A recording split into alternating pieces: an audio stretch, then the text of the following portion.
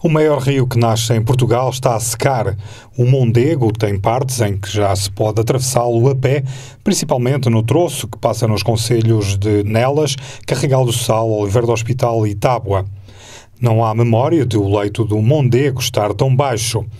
Também o rio Ceia encontra zonas em que está totalmente seco. O mês de setembro foi quente e agravou-se a seca nesta região, mas também em todo o país.